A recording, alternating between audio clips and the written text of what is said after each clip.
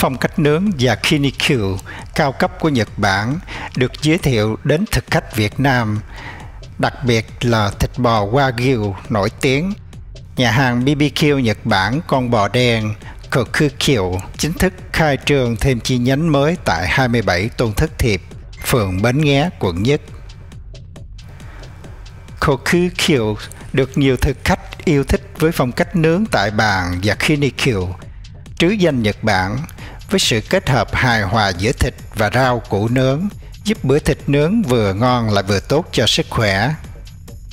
Ngoài ra, mỗi loại thịt sẽ được đi kèm một loại nước sốt đặc biệt riêng, được nghiên cứu từ đội ngũ bếp Nhật Bản, giúp đánh thức vị giác của bạn khi thưởng thức món thịt nướng. Đặc biệt, thực khách có thể được thưởng thức món bò Wagyu A5 thượng hạng lấy từ phần thân nội ngon và hiếm nhất của con bò Wagyu. Thuộc giống bò đen Tajima cao cấp nhất được nhập từ Nhật Bản. Đây là loại bò được nuôi với chế độ dinh dưỡng cao cấp. Chúng chuyên ăn các loại ngũ cốc chất lượng cao, uống nguồn nước tinh khiết và nghe nhạc cổ điển. Do đó, phần thịt bò Wagyu A5 nhìn bắt mắt với những lớp vân mỡ cẩm thạch và hương vị mềm, đậm đà.